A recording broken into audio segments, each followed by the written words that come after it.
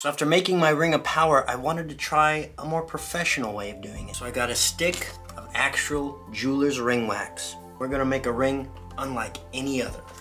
Now this type of wax is very firm and is designed for carving and filing in sharp and defined details into your ring. I'm to do my best to mark it and cut it as evenly as I can.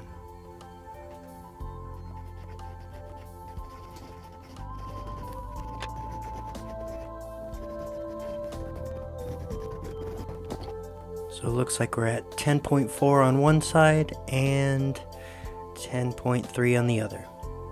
Pretty close. Top to bottom's a little different though. We're at 9.2 on the bottom and 10.6 on top.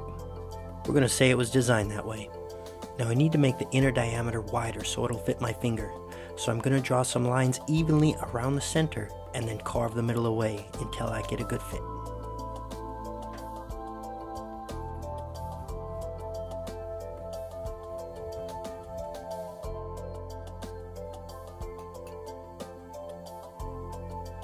It fits.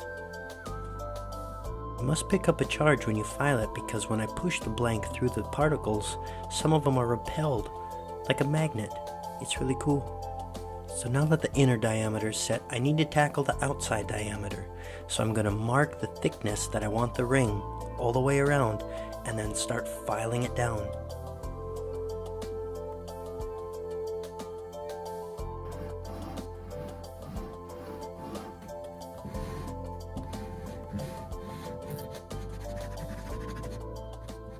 So the ring is taking shape pretty well. It fits onto my finger nice. Now this top part here, that would be where the jeweler carves the holdings for the stones. I'm not gonna do that because I don't know how to set stones. I don't know how to make a ring either, but I'm gonna do something very different with this ring. I'm gonna use this. Now this is a mold of an Impala that I made a while back. Who remembers that video? By filling it with wax, I get a wax copy that I can then use for casting. But for this piece, I'm not going to need the whole thing. I'm just going to need the head.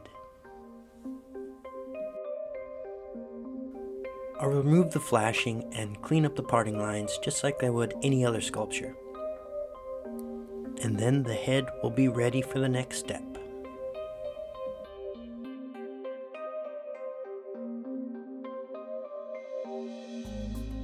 So now, instead of a diamond, I'm gonna put this Impala head on top of the ring. My wife said it's a bad idea, nobody wants it. But Splinter says it's a good idea. Splinter approves. Yep. So I need to determine where center is, and then I'll make a little pedestal that the head will fit down onto.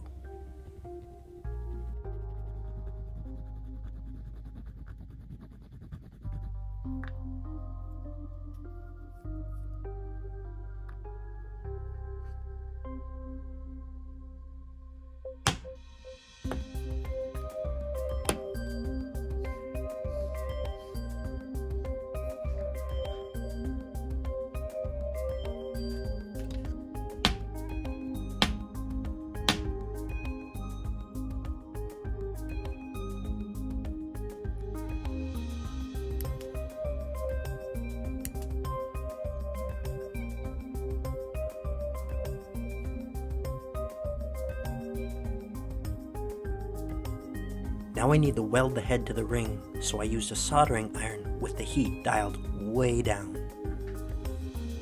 Then I'll use some files to blend it all together so you can't see the welds.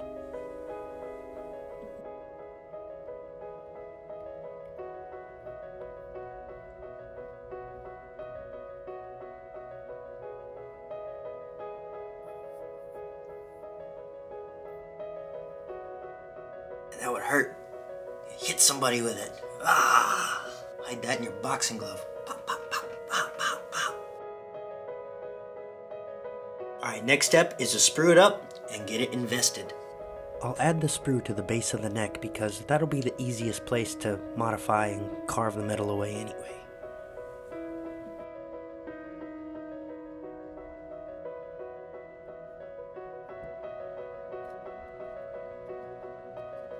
So I have it sprued up, but I need to be careful. Since the head is the largest area of mass, that's going to be the last part to solidify. Heat rises, so if the largest area of mass is the last part to cool, that's also where the most shrinkage is going to happen, which leads me to believe that if I do it this way, I'm going to have some shrinkage on the inside of the ring.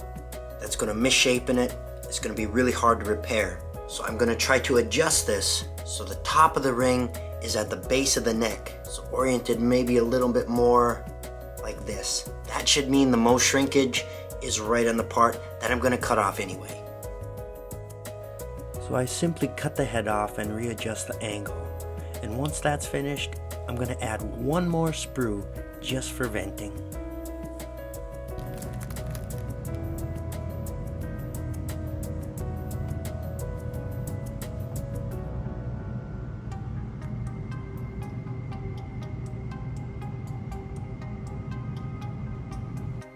So still a little worried about the shrinkage, I decided to add one more piece.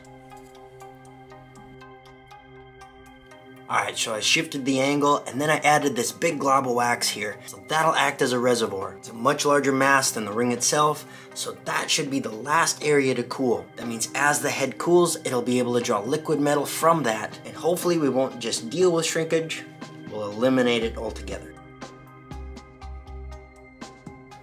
As usual, I'll be using Ultravest investment powder.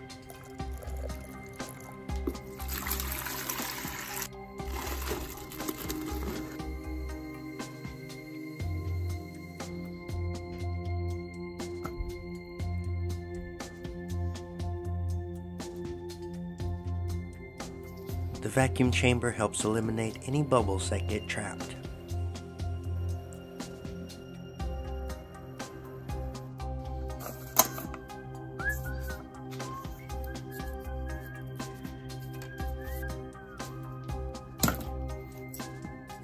I'll melt out the wax plug because I like to minimize how much wax I actually burn out in the kiln. Then I'll ramp the temperature up so all the wax and residue is completely burned away.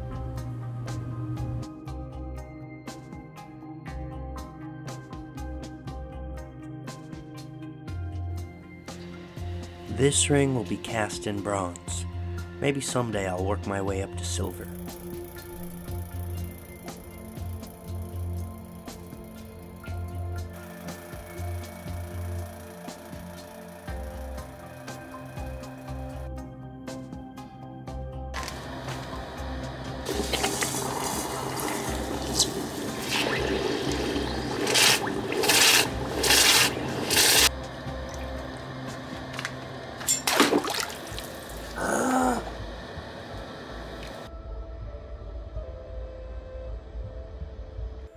I'll use a wire brush on a Dremel to knock off some of that investment dust. Now a jeweler will use a jeweler's saw to carefully cut the sprues off the ring. I'm using an angle grinder, and here's why jewelers don't use that. It's very easy to lose control and ruin your project. I'll be able to save this, but that was a close one.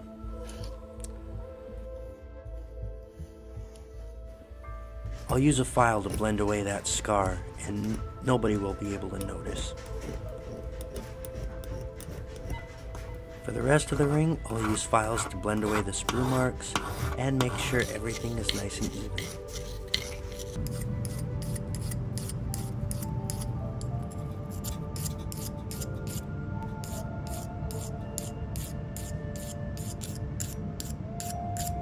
Sandblasting is a good way to highlight surface defects, and then I'll tackle the major ones with my carbide burrs.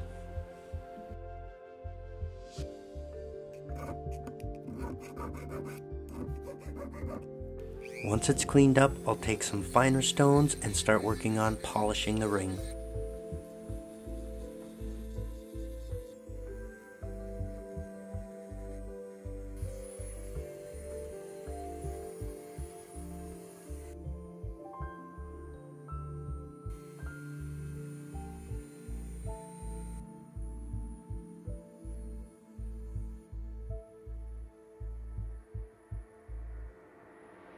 So I put a shine on it, but I think it needs some color.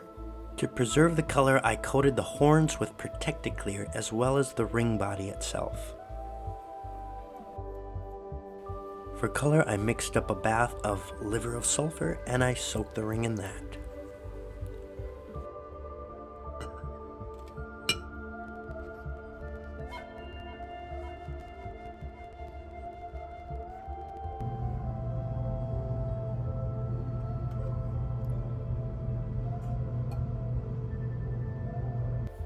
I'll add just a little bit of buffing and one more coat of Protect-A-Clear and we're done.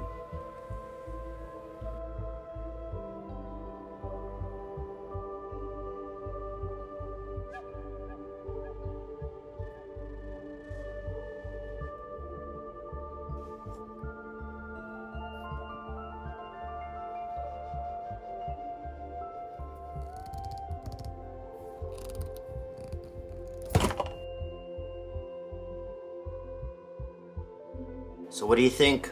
Would you wear a ring like that? It sits a little high on the finger and I should have had it a little closer to the knuckle because it's very top heavy. It kind of wants to flip around. It also serves as a self-defense weapon. Let me know what you think in the comments. Thanks for watching.